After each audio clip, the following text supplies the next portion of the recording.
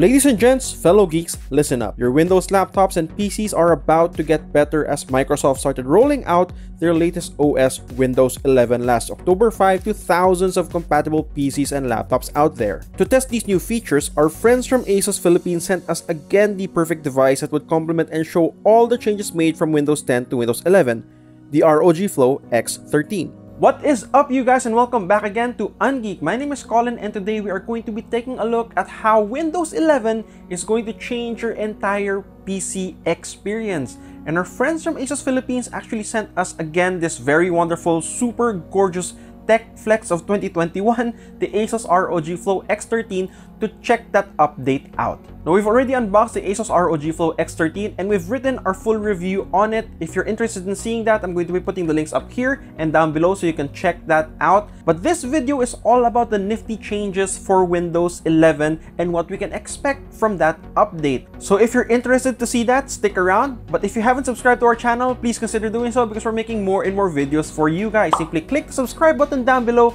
hit the notification bell right beside it so you know when we come up with a new video. Now that we have that out of the way, let's go on with this.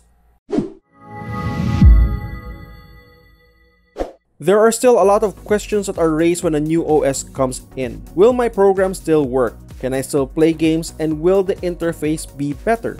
Luckily, Windows 11 seems to take off all the boxes when it comes to how a great update should be. Now, Windows 11 is a free update to Windows 10 if your device meets the system requirements. Those requirements apparently are 1 GHz or faster CPU, 4 GB of RAM, 64 GB of storage, secure boot, TPM 2.0 support, and DirectX 12 compatible graphics. Because we are using the ROG Flow X13 for this trial, it's safe to say that this device passes the requirements set by Microsoft. Just to review, here are the specs of the ROG Flow X13 once again.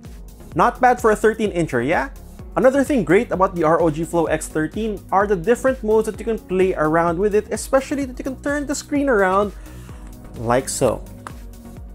The ROG Flow X13 is an innovative 2-in-1 13-inch gaming device where you can have multiple display modes depending on your usage. Because of the touchscreen capabilities, it's also the perfect machine to test the new highlights from the Windows 11 update. First off is the overall design.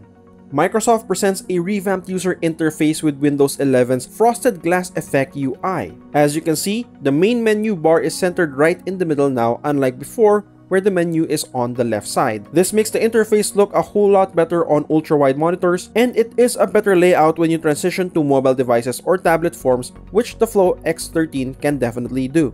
Another thing to note is the absence of the live tile windows on the start menu. It's a feature that we've seen since Windows 8 and have been refined over through Windows 10. Pinned Apps replaces this where you can customize your used apps for quick access or view all of them if you want to. This presents a cleaner start menu and we're digging how streamlined it is. The power button is also located in this window. Speaking of windows, did you notice the slightly rounder boxes along each window?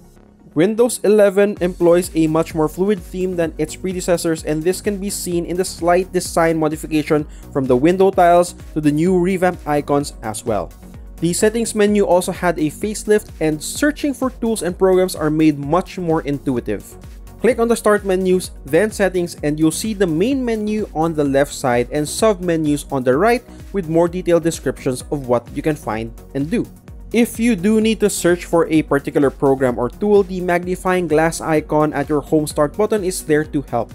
Hovering over the icon and you can see your recent search history and clicking on it expands your search tools so you can look for a particular file, folder, photo, video, or program inside your laptop or PC. Next on the centered start menu are desktops that you can create and customize like changing the background and themes.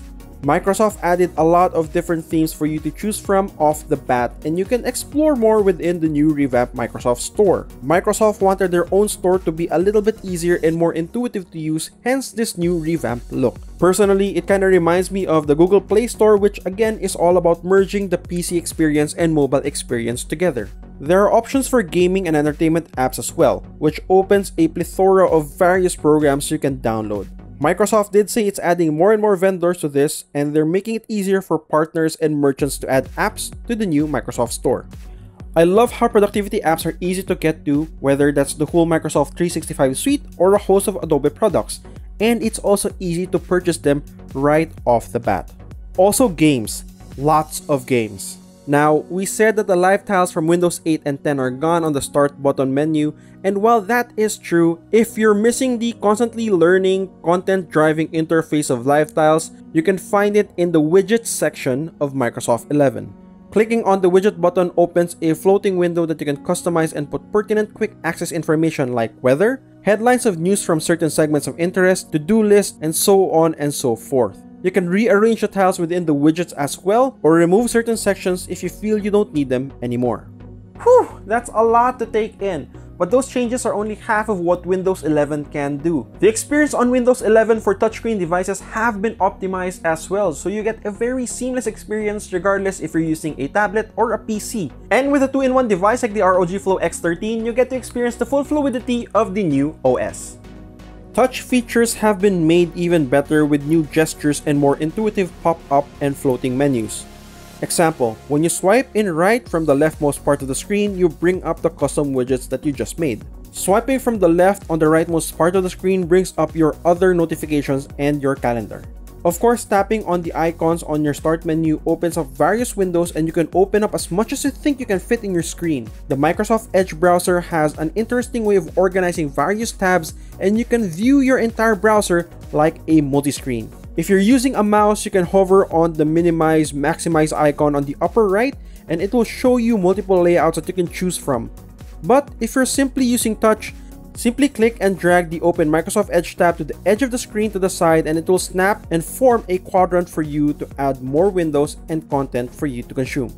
If you want to go back to your desktop, simply double click on the edge of the screen and voila, clean screen again. Another interesting addition to note is the new virtual keyboard on Windows 11 that snaps and floats. While typing on an actual keyboard is undoubtedly better, the virtual keyboard offers the same experience as typing on a mobile device. Keys are intuitive and it also has a swipe to type feature. It also has a bunch of emojis at the ready, very similar to typing on a phone. In fact, the experience is eerily similar to that of your mobile device that Microsoft added other gestures that we're already using on our phones.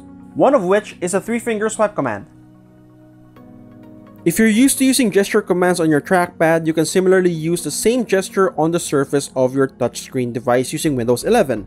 A three finger swipe to the left or right quickly opens up the last app window that you used. A three finger swipe up opens up task view and a swipe down lets you go back quickly to your desktop. A four finger swipe to the left or right will open other desktops that you have. Since the ROG Flow X13 is a 2-in-1 device, let's talk about the new Windows 11 layout changes when you dock the unit, when you use the unit in tent mode, and when you use the unit as a tablet. As mentioned a while ago, Snap Layout allows you to create multiple window app display as your main window layout. Before Windows 11, having multiple windows like this tend to be a bit clunky when you switch from laptop mode to tablet mode or tent mode for the ROG Flow X13. The update on Windows 11, however, enables your display to stay in place and optimizes it depending on how you view your device. You don't have to readjust your window settings anymore or individually replace your tiles as you switch modes. Windows 11 will remember them. In tablet mode, the window view shifts as well depending on how you view or prop your device. Now all of this is impressive but will it hamper my gaming? We know what you're thinking. New OS, this is probably going to bug the heck out of my games. The good news is Microsoft has come a long way since Windows 8. For games running smoothly on Windows 10, jumping on Windows 11 doesn't seem to have any ill effect. At least, not that we've seen. Windows 11 has tremendous support for DirectX 12 and Direct Storage which theoretically should even improve your gameplay. We've tested it out with some of the games we've installed on the ROG Flow X13 from last time and so far, everything is running a-okay. And that's it for this quick rundown on the new features of Windows 11 using the Asus ROG Flow X13. Windows 11 is currently being rolled out to all compatible Asus and ROG devices like this one, the Asus ROG Flow 13. For the full list of compatible ASUS and ROG devices, I'm going to be putting the link of that down below at the description area, so check that out. Do let us know your thoughts on Windows 11. Are you going to be updating your OS when the time comes? Do let us know at the comment section down below. And with that guys, my name is Colin and I will be seeing you on the next one guys. Please keep safe, keep healthy, and as always, keep on gaming. Bye bye guys.